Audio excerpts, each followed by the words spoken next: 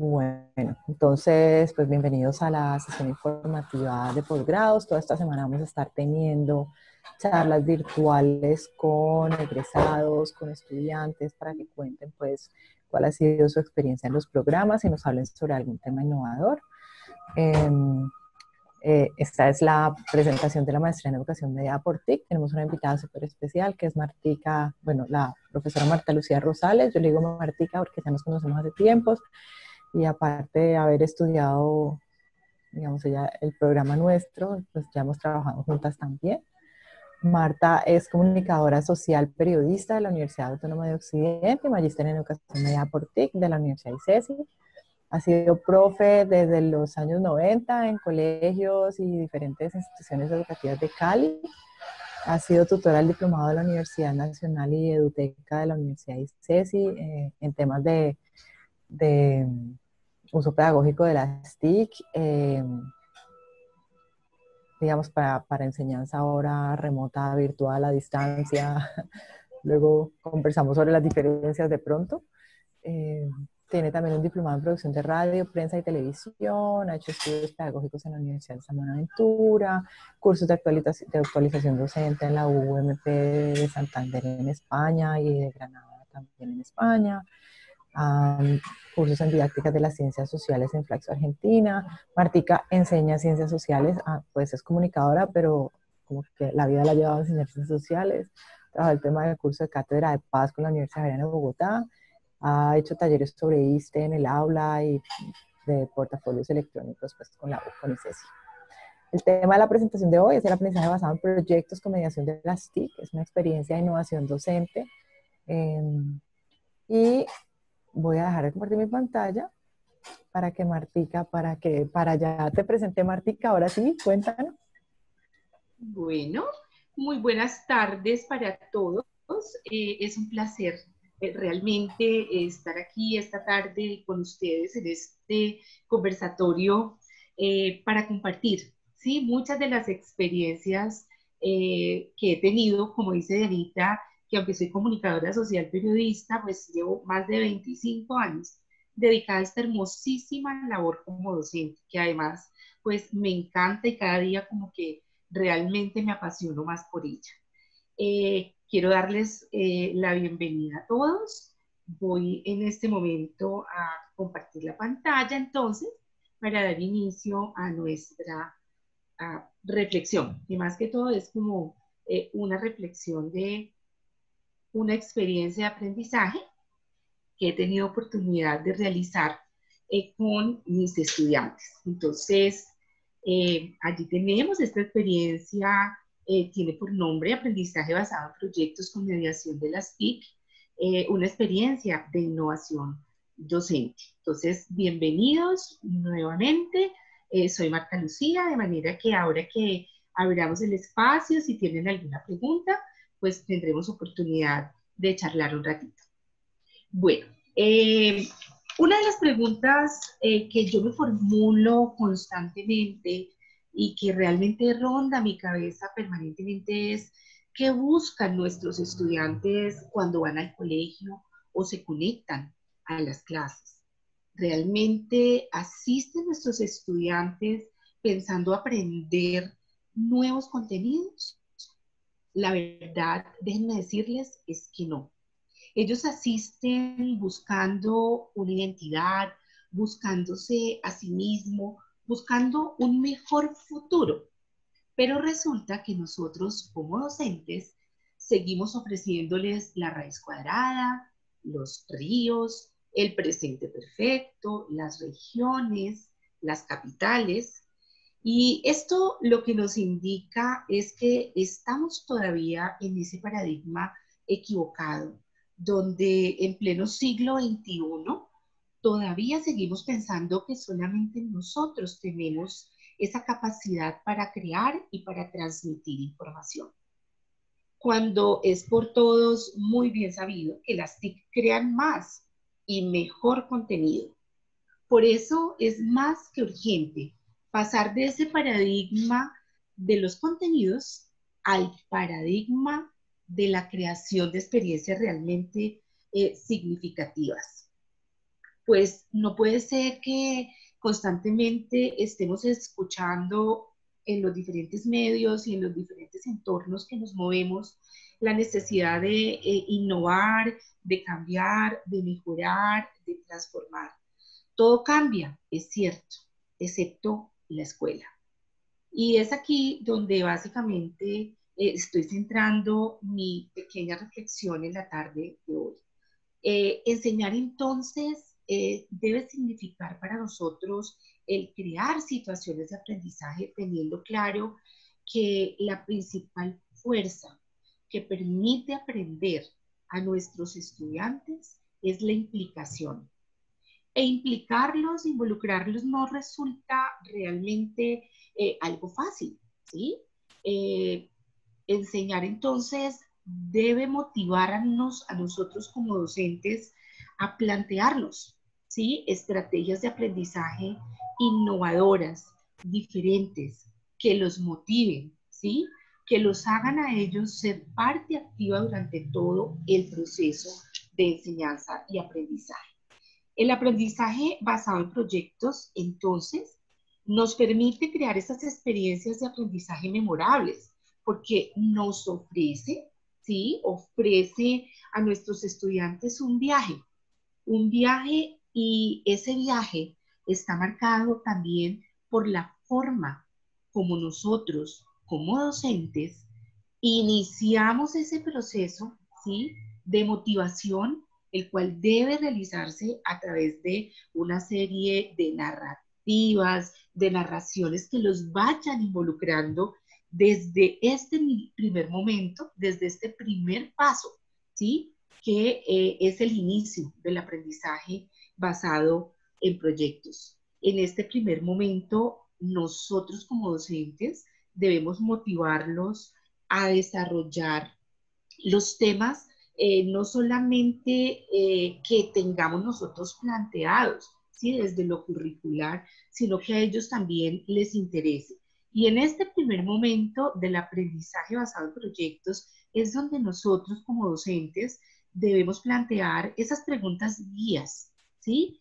Que nos permitan abiertas, que nos permitan, perdón, indagar a través de preguntas abiertas y detectar esos conocimientos previos que les invita a ellos a pensar qué es lo que ellos deben investigar y qué estrategias deben poner ellos en marcha para resolver esas cuestiones que se van a ir presentando a lo largo de esa estrategia que estamos implementando.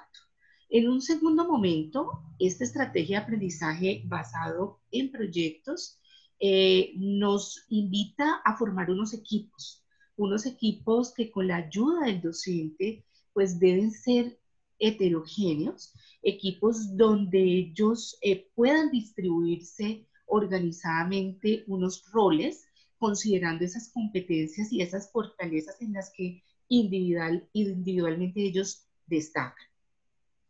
En un tercer momento, eh, cada equipo plantea ¿sí? Cada equipo plantea una pregunta de investigación que debe estar, por supuesto, basada en esos contenidos curriculares que nosotros tenemos para desarrollar, pero también debe contemplar y considerar los intereses de cada uno de ellos. Entonces aquí es un buen momento donde esta estrategia ofrece no solo el cumplimiento de esos contenidos curriculares que por supuesto también son importantes, de cumplir, pero también de considerar esos intereses.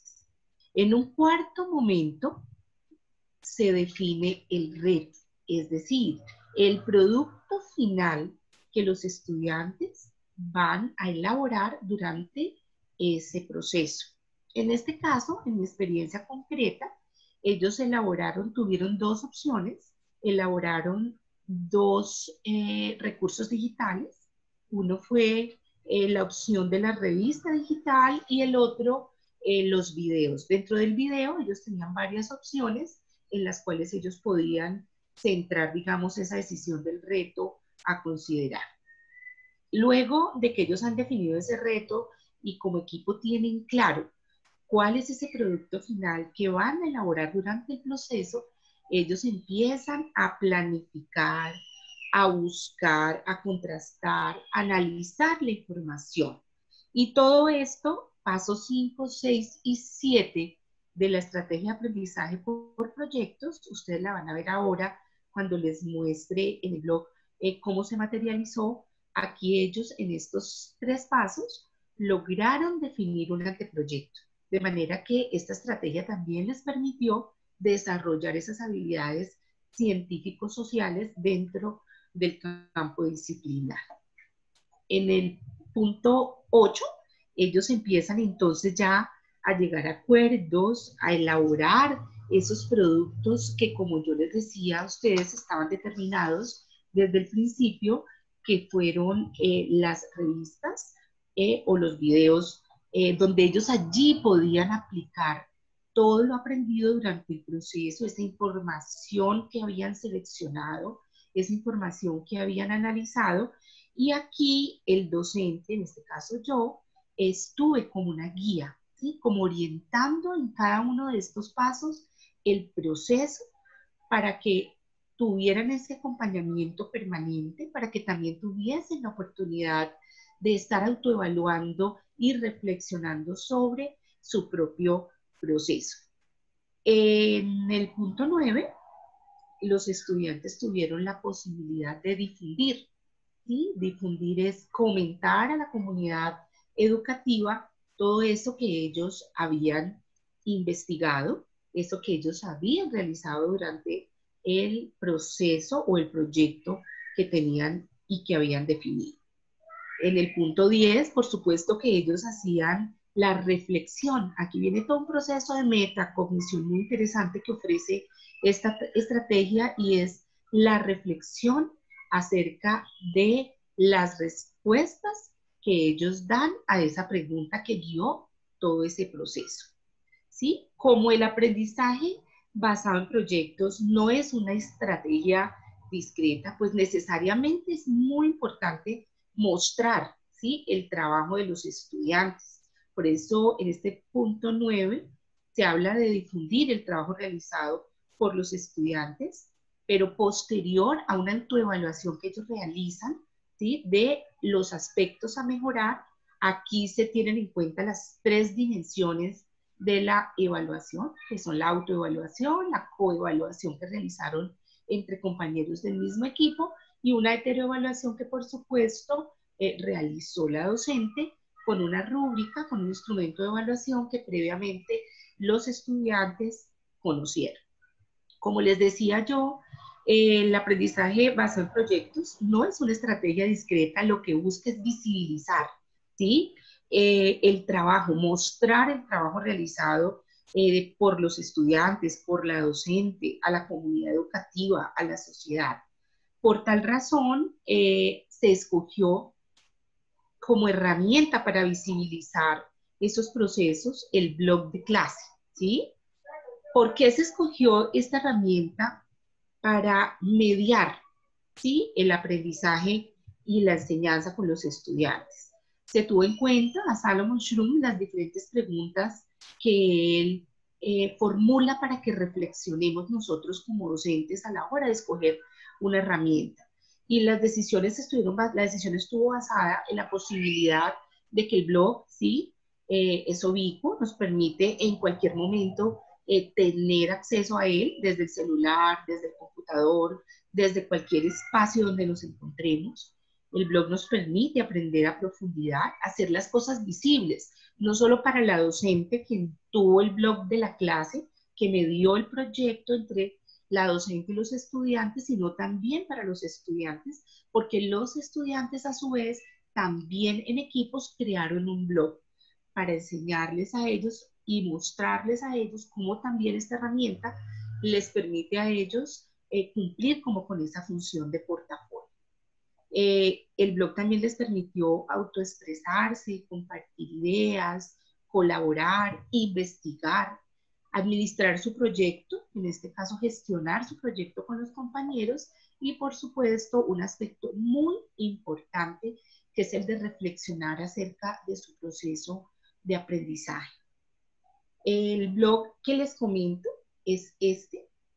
Este es el blog que se creó, que ese es el blog de la docente, eh, lleva por nombre Proyecto España en la actualidad porque este blog hizo parte del último periodo donde el contenido curricular en la asignatura de Historia de España, eh, de Geografía e Historia de España, el colegio en el que eh, realicé este proyecto, es un proyecto que tiene un convenio con España y por lo tanto eh, es obligatorio cursar ciertas asignaturas que permitan a los estudiantes, pues a los cuales se les puede otorgar ese título también español.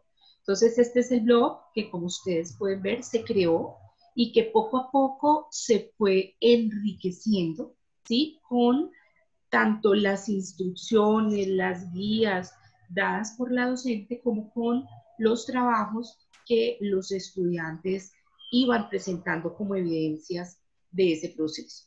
Entonces, en la página principal eh, del blog, eh, la docente comunicaba permanentemente eh, no sé si allí como que parece que se salió el blog o qué pasó aquí.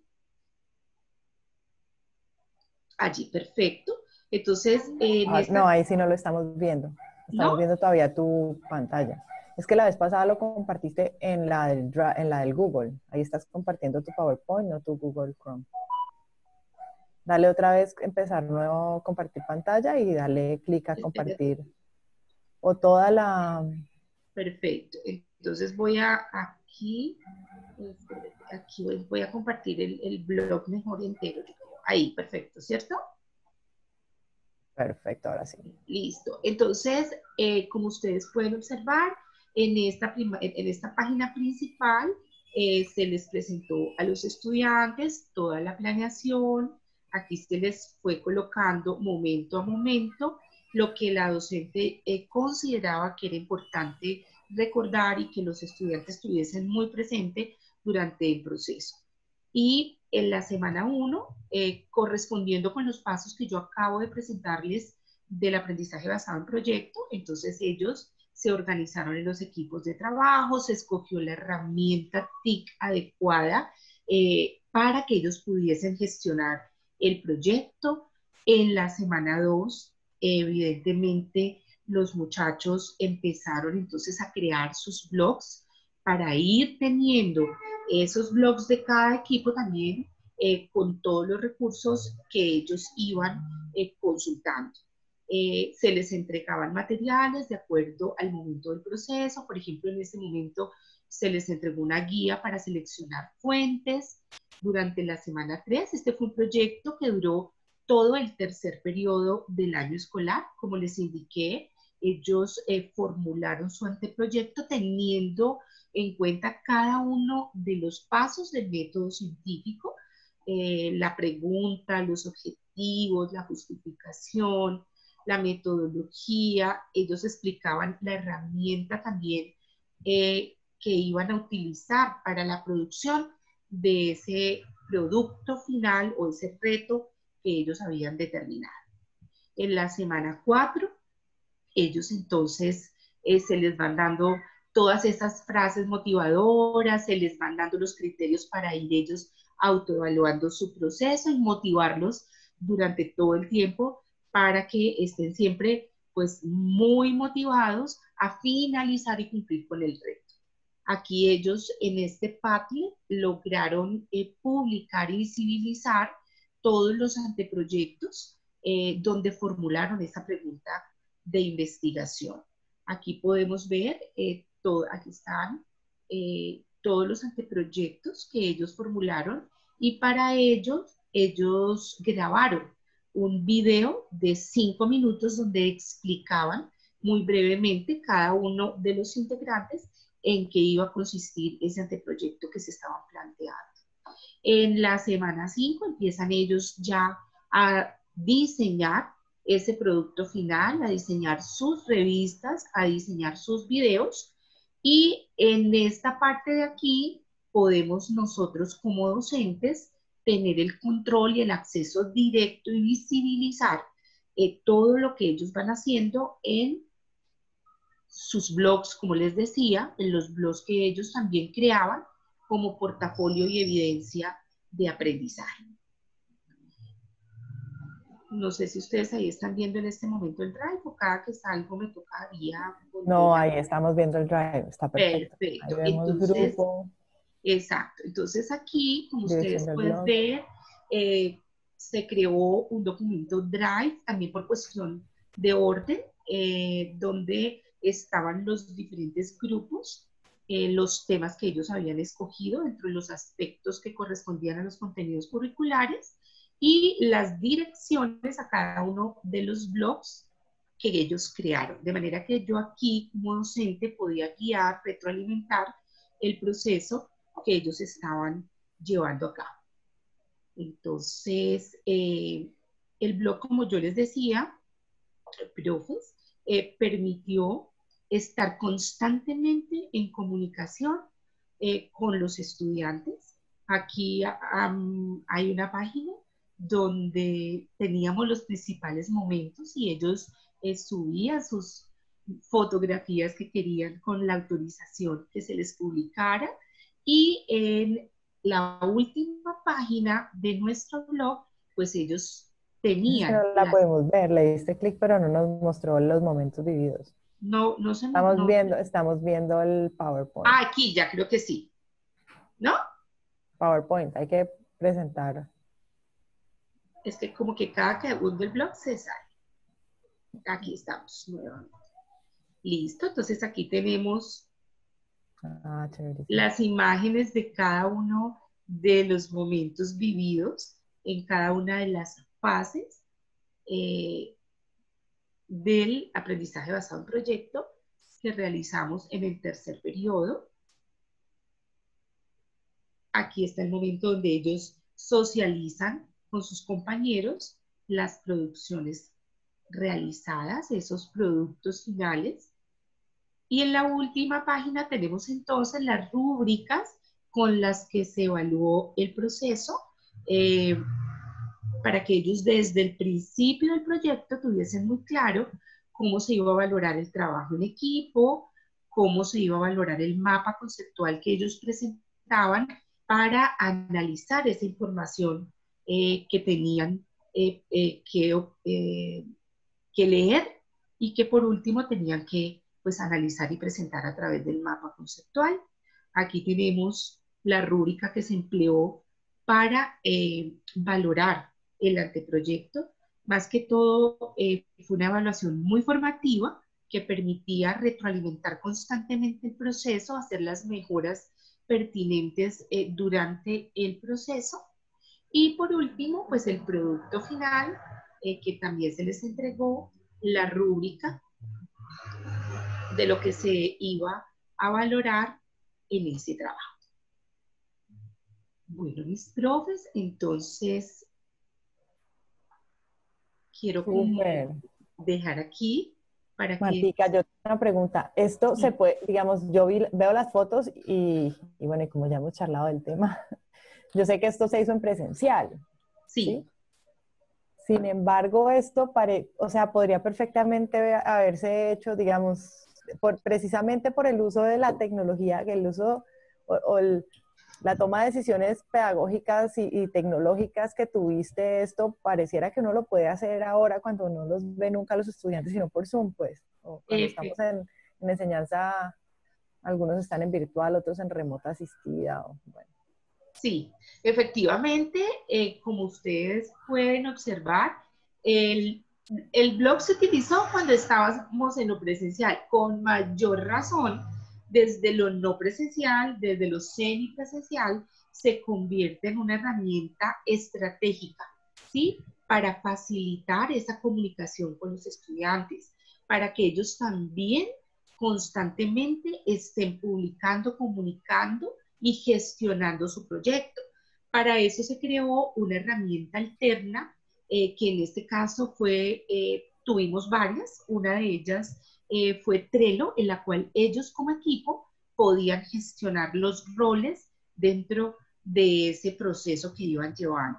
Entonces, claro que sí, Diana, esta, esta posibilidad del aprendizaje basado en proyectos mediado por diferentes herramientas puede hacerse totalmente desde la virtualidad, desde lo semipresencial o desde lo presencial, como ustedes pudieron observar que se llevó a cabo este proyecto.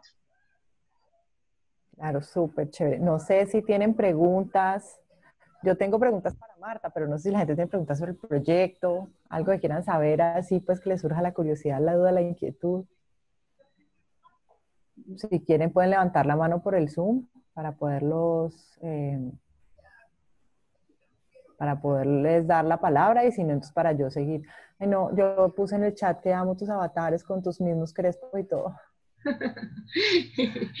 Sí, y bueno, y ya de pronto para, para terminar y dejar un poco abierta esta conversación, que, que sí quiero que sea así como algo muy formal, eh, decirles que eh, el haber tomado la decisión de utilizar esta estrategia... Ponerlo en modo presentación, Martica, por favor. Esa, sí, perfecto. Espérame, otra vez que esto se... Aquí, ahora sí. Eh, ahí ya, ya les... Ay, pero este va a estar acá. Están viendo el blog, ¿verdad? Aquí, perfecto. Listo, les decía entonces, profes, eh, que el haber tomado la decisión de utilizar esa estrategia de aprendizaje basado en proyectos eh, implicó, ¿sí? Un cambio y por eso la llamé una manera innovadora, porque realmente yo no había utilizado esta estrategia antes. Eh, y como les decía, algo que me eh, llevaba todo el tiempo y que me preocupaba y cómo hacer eh, las cosas diferentes, cómo involucrar y cómo hacer que los estudiantes tuviesen un papel mucho más protagónico, implicó esos cambios en la forma de enseñar y quizás correspondió, ¿sí? mucho más a ese enfoque por competencias donde se articula armónicamente lo que son los conocimientos, las actitudes y las habilidades. Y por lo tanto, hubo unas implicaciones de tipo curricular donde se pasó eh, de hablar de contenidos a procesos, ¿sí? donde las didácticas que se emplearon pues estuvieron basadas en unas metodologías activas centradas en el estudiante y donde el rol eh, docente simplemente correspondió a un guía, a un tutor, acompañar todos esos procesos y como les conté, ese aprendizaje basado por, proyectos, pues eh, cumplió, ¿sí? Con el objetivo de articular eh, todos esos, el saber ser, el saber hacer, ¿sí? Y el saber. Esas implicaciones tecnológicas, el blog, pues permitió, ¿sí? Realmente todas esas mediaciones que eran necesarias eh, con los estudiantes y por supuesto la evaluación, porque el mismo aprendizaje basado por proyectos se convierte en una excelente estrategia de evaluación formativa, teniendo en cuenta pues las diversas dimensiones como son la autoevaluación, la coevaluación y la heteroevaluación. Ahora sí, les dejo. Eh, ya te preguntan por el chat que si, bueno, que felicitaciones. Yay, I love it. que si, pregunta Yorladi, bueno, primero te felicita, luego te pregunta que si, ella que le gustaría saber si hiciste transversalidad con otros proyectos. Sí, eh, este proyecto eh, se trabajó también con informática, todos los estudiantes en las clases de informática y en acuerdo con los docentes. Trabajaron lo de las herramientas, ellos allí gestionaban la información. También tuvimos la posibilidad con eh, los docentes de ciencias sociales articular esos contenidos curriculares, con la docente de lengua castellana, cuando hicimos y trabajamos el organizador gráfico, estuvo presente allí esa asignatura, de manera que sí se trabajó, por supuesto, uno de esos objetivos eh, principales que es el aprendizaje basado en proyectos que es dar lugar ¿sí? a esa transversalidad con las otras disciplinas. Me pregunta Margarita Carmona que si los estudiantes ya sabían hacer un blog. Ok, ahí le tocó a la profe de tecnología tarea. Exactamente. Los estudiantes eh, primero tuvieron con la profe de sistemas eh, esa capacitación. Ellos ya habían visto, yo por supuesto pues me aseguré que eh, los estudiantes, este proyecto se trabajó con grado noveno, ellos habían trabajado en grado séptimo y octavo, y no lo habían utilizado como un, digamos, un portafolio eh, de evidencias de aprendizaje, pero sí lo habían eh, utilizado para comunicar una serie eh, de actividades que la profe Sistemas les había colocado. Yo simplemente al inicio del proyecto, digamos, di pues esos lineamientos de cómo ellos le iban a dar forma, pero di total libertad para que ellos eh, quizás ellos, por supuesto que se iban influenciando al ver el blog de la docente, ¿no? Al ver el blog de la docente estructurado de esa manera, pues eso hacía como que los blogs que ellos también estaban proponiendo fueran bastante similares a los de la docente. Bien, no sé si hay más preguntas por ese lado. Gracias, Margarita. Martica, eh, yo sé que vos estás como, que, contame tu trabajo actual, porque yo sé que ahí ha habido cambios. Sí, definitivamente. Eh, ya hace, desde el mes de junio, eh, estoy trabajando ya como tutora, ¿sí?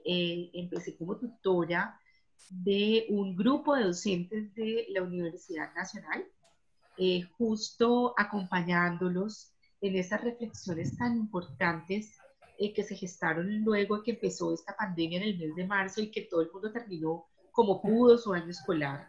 Y en el mes de agosto realizamos un trabajo de 10 semanas con los docentes de la Universidad Nacional, donde lo que se hizo fue reflexionar y rediseñar esas eh, prácticas y esos planes que ellos tenían eh, para luego eh, ayudarles en esa implementación y en esa gestión, porque pues mm, como ustedes saben, la Universidad Nacional decidió este semestre trabajar 100% virtual, eh, sin opción, digamos, a lo semipresencial, entonces hubo que rediseñar eh, todas esas experiencias, redefinir los objetivos de aprendizaje, hacer todo lo de curaduría de herramientas para seleccionar, por supuesto, y tomar eh, luego de las decisiones eh, pedagógicas y curriculares, las mejores decisiones eh, tecnológicas y que pudiesen empezar su semestre con pues total claridad y con unas,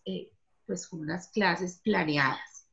De manera que estoy dedicada como a la tutoría, ahora también estoy un poco en un proyecto de la Secretaría de Educación Departamental, también como asesora pedagógica de manera que me he enfocado por este ladito.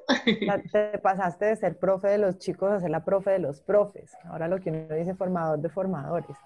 Exactamente, exactamente. Estoy en este nuevo reto, también muy interesante, eh, aprendiendo mucho también de, de, los docentes del Valle del Cauca. Y bueno, aportando eh, todo lo que esta maestría eh, realmente me enseñó porque déjenme decirles que eh, lo que hace esta maestría es sacarlo a uno de, ese, de este puesto, de este lugar de confort. Eh, ella lo toca a uno, ella lo inquieta, ella hace que uno se cuestione esas formas eh, de enseñar, ese rol del docente. Como yo les decía cuando empecé a implementar esta experiencia, es cierto, la maestría empezó a inquietarme, a tocarme, a, a hacer que yo me pensara esas prácticas, eh, porque no puede ser que tanto tiempo eh, en educación y que, y que sigamos como en las mismas. Entonces, eso, esos aportes realmente se los debo a la maestría en educación mediada por las TIC, eh, que cursé y que realmente me ha permitido, me ha permitido practicar me ha permitido aprovechar cada uno de esos cursos que tomé en ahora esta nueva, eh, digamos, eh, experiencia profesional en la que me encuentro. y ahora que todo es, todo es por tecnología, digamos que, que te cayó pues perfecto. Sí, definitivamente sí. Un reto que estoy asumiendo pues muy interesante en este momento tan coyuntural eh, para todos los docentes y bueno, pues en nuestro caso docentes, pero para, para muchos otros gremios también. Claro. Pregunta Yorladi que si el blog se puede ver en la red o que si lo tienes cerrado solamente para la gente del colegio. No, el blog eh, está abierto en este momento. eh, lo pueden consultar. Ahora si quieren les coloco en el, en el chat, en el chat. Eh, la, la, dirección para que lo puedan consultar. Bueno, eh, no sé si, si dice, dice Fanny que es una transformación del docente, que muy bien, Martica, que te felicita. Y pregunta a Yorladi que si por favor le mandas el enlace porque no lo ha podido abrir, que ella intentó pero no lo ha podido abrir. Perfecto. Voy entonces en este momentito, voy a, voy a ingresar un momentito al blog a ver si eh, te lo puedo compartir. El, el, tema de aprendizaje basado en proyectos, digamos, como una pedagogía o una apuesta didáctica innovadora, diferente, a pesar de que los proyectos han existido por mucho tiempo, pues ahora está muy vigente. El Ministerio de Educación Nacional tiene trabajo por, por tareas, por proyectos también dentro de sus lineamientos, pero a veces pareciera que no es tan fácil mm, como por implementarlo, implementarlo. Digamos, eh, uno lo, lo, lee y dice, bueno, sí, ya entendí, pero, pero ponerlo en práctica y cambiar, tú decías ahora en la charla, bueno, simplemente mi rol fue mediadora, pero es que ese es el rol más difícil. Es más fácil uno decirles, venga, lo que tienen que aprenderse es esto, esto, esto, esto, y de memoria, pues uno se los dice y que ellos se lo aprendan, pero dejarlos que ellos construyan, que ellos averigüen, que ellos investiguen.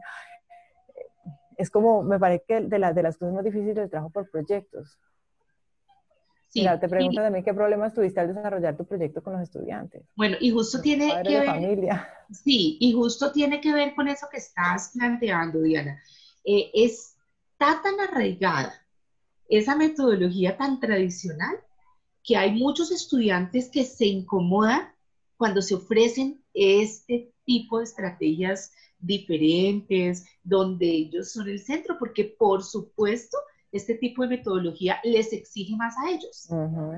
En ese rol de mayor actividad, por supuesto que tienen que autorregularse, autogestionar su aprendizaje, tienen que, y a veces a muchos estudiantes eso les resulta incómodo. Es mucho más cómodo que el profe me diga que tengo que hacer, que tengo que leer y hasta casi que tengo que responder. Entonces, eh, respondiéndole a Carlos Julio, eh, ese fue, digamos, un poco, pero igual, eh, no lo consideré pues como un problema, sino más bien una situación motivadora para mostrarles a ellos que existen otras formas, ¿sí? De aprender también muy interesantes, que no podemos seguir asumiendo ese rol tan pasivo. Con los papás también me facilitó fue que desde el inicio del proyecto eh, les comuniqué a los padres, también los involucré mandé los enlaces del blog para que ellos pudieran estar eh, también pendientes, digamos, de lo que hacían sus hijos, de lo que en clases estaba haciendo.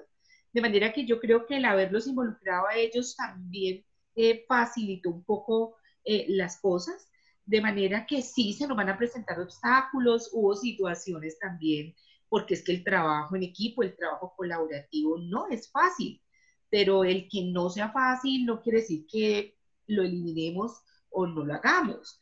Eh, precisamente se convierte en grandes oportunidades para trabajar también toda esa parte formativa, para resolver conflictos, para mediar entre las formas en que ellos están tratando, ¿sí? Eh, el respeto, los valores, de manera que se convierte también en una oportunidad para trabajar ese otro tipo de competencias y habilidades tan necesarias. Hubo un momento del proyecto donde hubo y fue necesario parar durante un bloque clase y presentamos un video eh, de qué es trabajar colaborativamente, qué significa asumir con responsabilidad el rol eh, que me correspondió tanto a nivel personal, individual, como en equipo.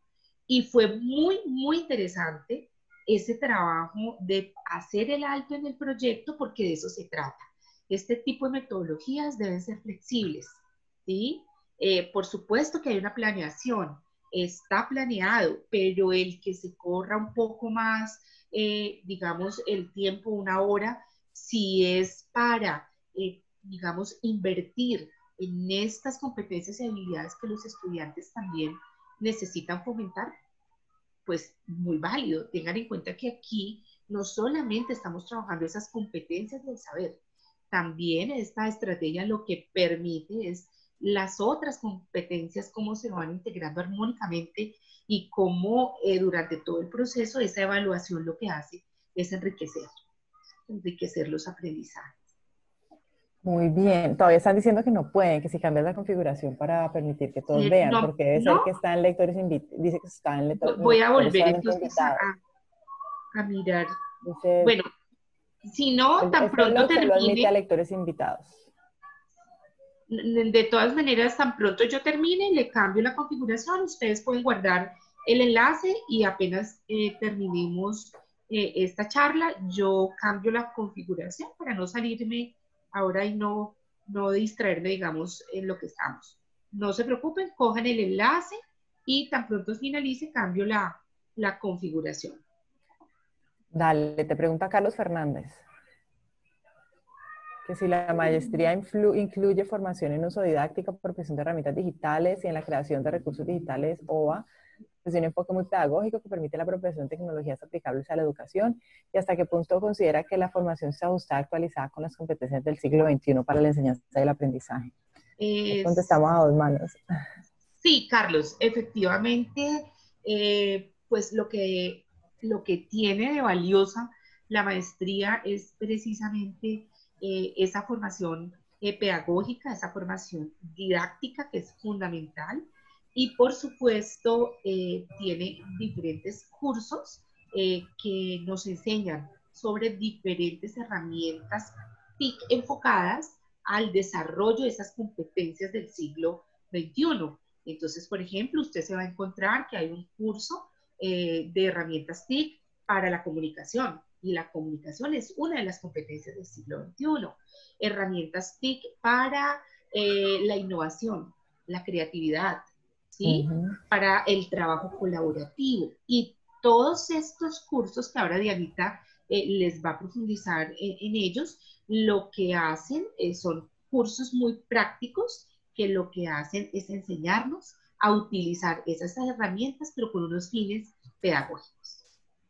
Esa es súper importante, las decisiones pedagógicas. Siempre creemos en la maestría que uno primero toma la decisión pedagógica y después toma la decisión tecnológica escoger la herramienta primero y decir, bueno, ¿y yo qué hago con esto? La vuelta es más al otro lado. Pues yo necesito lograr con mis estudiantes esto, ¿qué herramienta me sirve para poder hacer eso? Em, yo no sé si ustedes quieren, yo tengo por ahí un par de diapositivas con la malla, la modalidad, no sé si quieren que se las presente. Nos quedan 11 minutos antes de que la sala de Zoom se cierre. Además tengo la presentación de la maestría en educación ahorita, o sea que también tengo que salir. Igual Martica queda así. No sé, me imagino que la sala se cierra. Entonces, no sé si quieren que les muestre, si ustedes votan ahí con el yes, no, que está al lado, debajo de participantes, cuando no tienen participantes aparece chulito, cruz. Los que quieren que les muestre para saber, o si no, para que, por ahí veo uno, de Daniela Vázquez, como mostrarles la malla así rápidamente. O si no, para que sigamos charlando y sacando la información a Martica. Sí, por favor. han dicho, ajá. Ajá, ya estoy viendo. Bueno. Em, esta es la presentación de Martica. Ya está viendo mi, pantalla. Entonces, la maestría tiene cuatro, es una maestría, un programa de cuatro semestres, tiene cursos como en varios núcleos, en varias áreas. Tiene unos cursos, digamos, lo que todo docente, educador debe saber, un curso sobre cognición, es decir, cómo aprende el otro, cómo aprende el estudiante. E, en este caso, todo está enfocado a cómo aprende en la era digital. Tiene un curso también de pedagogía y didáctica para la mediación de las TIC, digamos, se piensa todo el tema pedagógico y todo el tema didáctico desde el tema de tecnologías. Tiene cursos, dos cursos de diseño de experiencias de aprendizaje mediada por las TIC, uno acá y otro acá, uno en segundo y otro en tercero. Tiene además... Eh, curso de diseño curricular y de evaluación de los aprendizajes, el de evaluación de los aprendizajes destacados, de evaluación y no diseño curricular, que es como lo, y, y, el curso de ética y ciudadanía digital, que es lo que uno dice, bueno, lo que todo docente debe saber. Tiene además, eh, ah, bueno, y tiene un curso de comunicación y argumentación en la era digital. Una de las competencias que, que fomentamos en la universidad tiene que ver con la comunicación y pues en este caso nos enfocamos en la comunicación en la era digital. Tiene además unos cursos eh, de herramientas, los llamamos herramientas TIC para algo. Entonces, ahora lo que decía Martica, por ejemplo, cursos en herramientas TIC para ciudadanía digital, para manejo de información, para comunicación creativa, para solución de problemas, para colaboración, para pensamiento computacional, para gestión del aprendizaje. Estos cursos, en estos cursos no se le bota corriente, digamos, a las herramientas y em, como ustedes se pueden dar cuenta, en cada semestre hay, por ejemplo, aquí está el de pedagogía y didáctica y hay tres cursos de herramientas TIC. Aquí está el de diseño de experiencia de aprendizaje y también hay tres cursos de herramientas TIC. Lo que hacen es que los cursos se, como que trabajan juntos para que si uno está trabajando en herramientas para la colaboración, pues puede usar esa aplicación que está haciendo en este curso en el, y la alimenta con el de diseño de experiencias de aprendizaje mediadas por ti. Los profes, yo estoy viendo que por el chat me hablan, pero como tengo el, la presentación compartida, no me deja ver el chat. Eh, entonces, son los cursos de herramientas. En esos uno bota corriente a cómo se usan las herramientas, no solamente como usuario, sino además pensarse qué puedo hacer con esas herramientas con mis estudiantes. Y tienen componente investigativo, que son los seminarios de investigación y trabajo de grado, aunque esta no es una maestría de investigación, sino una maestría de profundización, de profesionalización.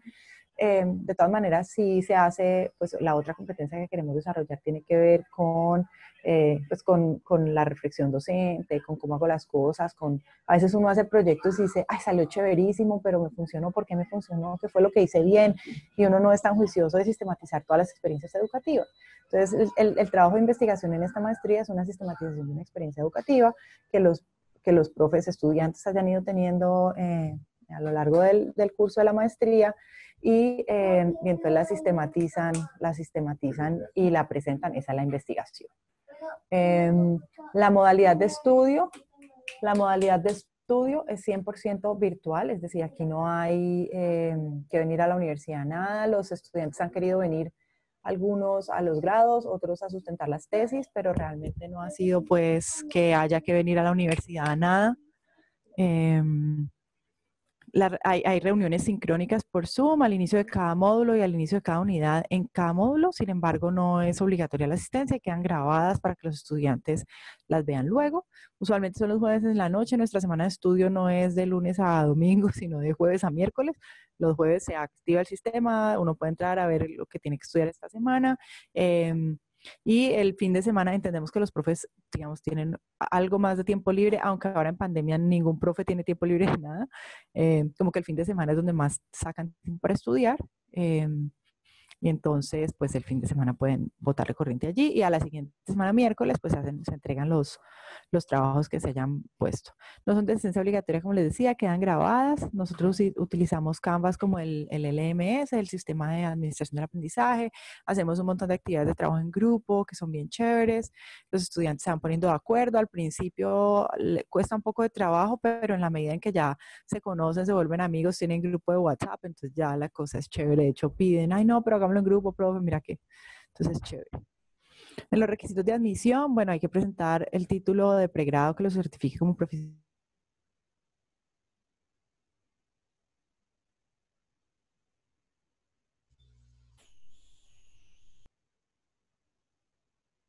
de motivación, un ensayo en el que se explique la motivación para participar en la maestría, los aportes que cree que esta le haría al ejercicio profesional, los proyectos educativos más importantes en los que ha participado y una entrevista que usualmente es conmigo o con alguno de los profes del programa. Yo trato de hacerlas todas para conocer a mis estudiantes y saber quién es quién y esto.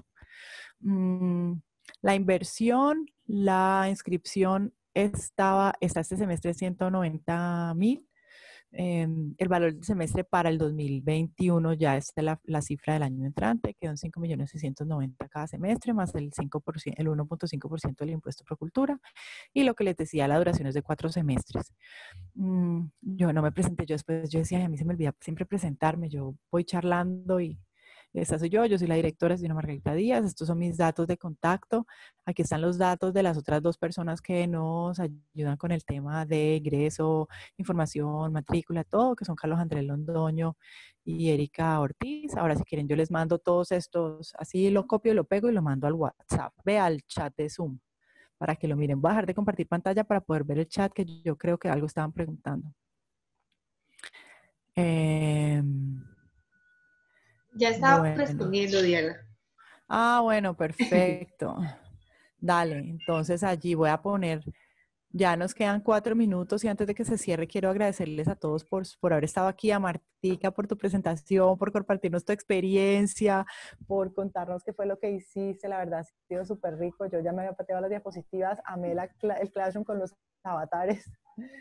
Este, y, toda la propuesta pues está súper linda y creo que en estos momentos es importantísimo pues, la formación en, uso de tecnologías. Quisiéramos seguramente pues volver a nuestras clases presenciales, pero la pero pues digamos no, no es tan fácil ahora pareciera. Em, ahí alguien decía que no se escucha, pero no sé, ya mejoramos, que a veces mi internet se pone flojo. Y yo te escucho. Ah, bueno. Todo el proceso 100% virtual, por eso les digo, la gente que quiere venir a sustentar porque quiere presentar en la universidad, pararse en un salón de la U o algo, han querido venir a los grados también, sin embargo, todo se puede hacer virtual 100%. Tenemos estudiantes en Perú, tenemos un estudiante en Ecuador, tenemos a alguien aplicando de Argentina y otra persona de Centroamérica, esos no van a venir nunca. Tenemos gente en Magdalena, en el Meta, en, en Bogotá, en Medellín, en, Montería, dime. Eh, no, y también quería, pues, para corroborar ese punto que tú dices, es decir, la experiencia que se vive al trabajar con múltiples disciplinas. Por ejemplo, yo estoy en la maestría y yo ah. estoy con ortopedistas, enfermeras, psicólogos, es decir, tengo todas las disciplinas y se trabaja muy chévere. Y lo más importante, todo el contenido está tasado por semanas y se trabaja muy chévere. Es decir, realmente se necesita un poquito de disciplina y se trabaja muy rico, demasiado rico. Muy bien. Es Luis, Luis Mondragón. Luis, ya te estoy viendo, Luis. Estoy viendo tu nombre porque la cara no tenés prendida. Ah, este, Bueno, esa era nuestra charla de por la tarde. Gracias, Luis, por tu apunte. Les juro que esto es publicidad política no pagada. Este, yo no les ofrecí nada. Ellos vinieron por voluntad propia para que sepa todo el mundo. Eh, mil gracias a todos por su asistencia. Martica, gracias a ti por tu presentación, por tu carisma, por compartirnos tu experiencia. Em, a todos los demás, nos puedes mostrar, enviar la presentación del programa. Bueno, yo le digo a, a ahorita ustedes cómo se inscribieron y dejaron los datos, yo le mando la presentación a Melissa para que ella se las, se las comparte, ¿vale? Ya, te la mando. Vale, listo. Ah, lo que pasa es que no nos queda mucho tiempo, se nos acaba ahorita, las, ya se va a acabar, ¿cierto? Sí, ya en un minutico se nos cierra y tenemos otra conferencia. Entonces ya le, ya le digo a, a, Meli que les mande, a Melissa que les mande la, la charla. Bueno, ya esto se va a cortar. Mil gracias a todos por estar aquí, por acompañarnos nuevamente, Martica.